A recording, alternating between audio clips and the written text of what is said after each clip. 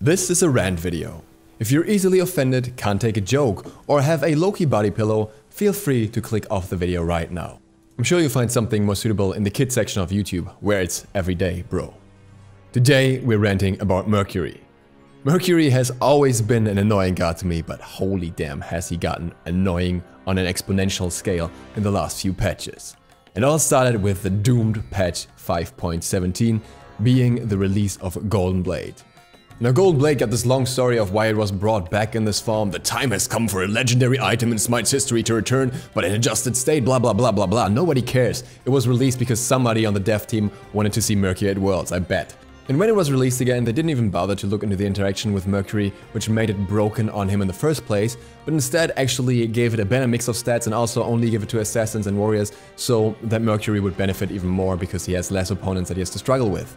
And why do I say better stats? Because it's a little bit cheaper, it has a little bit more movement speed, which Mercury benefits from. It also has some attack speed mixed with physical power, so Mercury doesn't have to bother looking into other attack speed items at any later point at all. He didn't really have to before, because he has his two, but you know, even less now that he gets some extra attack speed, so everything else in his AA chain goes off quicker, so you know, that's great already. And then the passive just multi-procs on his one, so you get three targets, you hit them once with your ability, and then each of them gets a multi-proc from Golden Blade as well, because that's for some reason a logical interaction that nobody ever thought of adjusting. AoE cleaves and Golden Blade are super weird, I've talked about this already, I don't need to do this again, but that's just the beginning. So with Look, Mercury has instant clear on small camps. Often he clears the big minion in the camp as well, and if he doesn't clear them immediately, then it needs like one, two, three more hits, and that's it. Your hits are also faster with more attack speed, have I mentioned? So really Mercury has no problems at all clearing the jungle at any point of the game.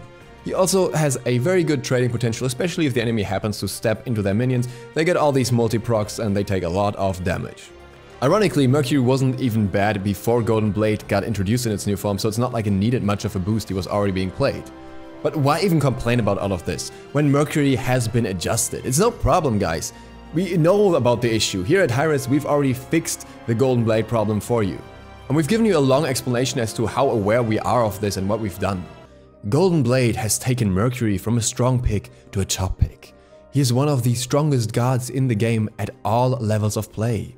Even though Golden Blade is enabling his power, we want to be careful adjusting that item. By the way, we really don't have any bias for Golden Blade, and for Mercury, at all. Many off-meta struggling gods are using Golden Blade to reach new levels of success, and that could totally not be adjusted in a way where it's only affecting abilities that happen to be basic attacks as well. No, no, no. We have to look at all gods here, not just this one interaction which could easily be changed. Just making that clear, you know? The item passive was recently brought back with a positive reception. I'm not gonna lie, that's actually true. Mostly by Mercury mains who just love playing Mercury all the time, all day. We don't want to hurt all those other applications just because one god overperforms with the item. We will be looking at the interactions of Golden Blade and You Look in the future, because we totally couldn't just, you know, take the hit away from the main target and leave it on the off targets like an actual basic attack works as well. No, it has to be this proc where double procs on everyone, and that can definitely not be changed. We have to do that in the future after Worlds. But for now, we'll be increasing the cooldown of Mercury's primary damaging ability. His clear will still be strong, but he will need to pace himself more carefully with his ability. 2 seconds on a big damaging ability can make a big difference and should bring Mercury down a notch without limiting the god pool in other places. Well, that sure sounds fantastic. I'm sure they've made great adjustments to the one side of the cooldown thing to make it work properly, to make it not unfair, maybe reduce the base damage a little bit as long as Golden Blade is so prevalent and doesn't want to be touched in terms of its interactions, right? You know, we, we do something with that. We can we can work with that. We can maybe lower the radius a little bit or something, you know, just not the off procs outside of the circle with Golden Blade, anything like that, you know. Uh, wait, okay, they just changed the cooldown from 8 seconds to 10 seconds. Uh, because you're totally not just clearing every second camp with your two anyways, you know, just use your one on the first camp, use your two on the second one, because with Golden Blade you cleared them the same time and then, you know, use your one on the next one again. Hmm. That's that's all. Oh, okay. Yeah. No. Cool. No problem. No. No. No. We, we're happy with that, right? We take that. Small steps.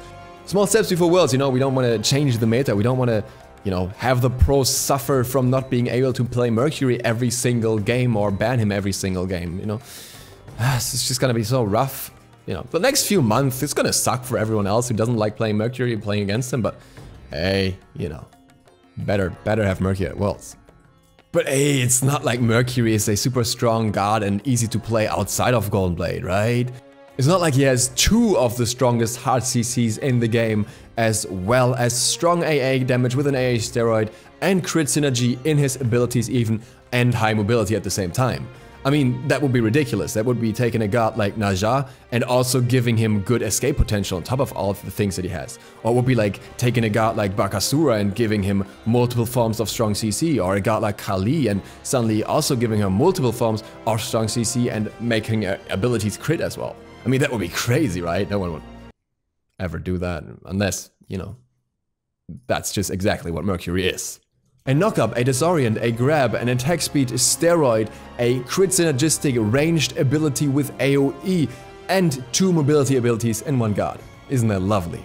Let's look at this in more detail. He's got two passives, one that gives you more damage for traveling some units, 500 units for 50% extra damage on your next basic attack, 500 units, by the way, it's, my, it's not very much. You get 25% of your movement speed translated into physical power as well, when it comes from items or from abilities. And this goes for your teammate stuff as well. And then, you know, your first ability is just an AoE poke and clear on a 10 second cooldown, which, you know, happens to be able to crit and also proc Golden Bow at the same time, which is fine. I mean, looking at the kit with a 10 second cooldown instead of 8 seconds, it's almost a reasonable ability. The second ability, a 70% attack speed steroid. Zha gets 55%, and again, he doesn't have the same mobility. That's cool. And also 10% extra movement speed. And also a slow immunity. And also that whole stuff for 5 seconds and the 10% movement speed permanently. And uh, also, you know, the 10% movement speed actually work together with his passive and also give you an additional 11.25 power on top of your normal power. So this passive and the two together actually give you extra power as well. You know, that's cool, that's cool, it's fine, yeah, no problem. And then we have his three, which is a dash, a grab, and a knockup with a directional choice for the knockup at the same time. Totally something that every god has, like directional CC where you can choose the direction, and then one of the strongest CCs in the game at the same time. It also has, by the way, an 80% scaling, which is definitely not bad, so that's a lot of ability damage as well. It's also amplified against minions for regular clear, you know, just in case you want to take him into solo or into ADC or something. You know, we don't want to have you have a harder time than, than anyone else as an assassin in unconventional roles. Better make sure that you can full clear wave between using your 3 and using your 1 with Golden Blade. And ironically, this is actually his worst ability at the same time.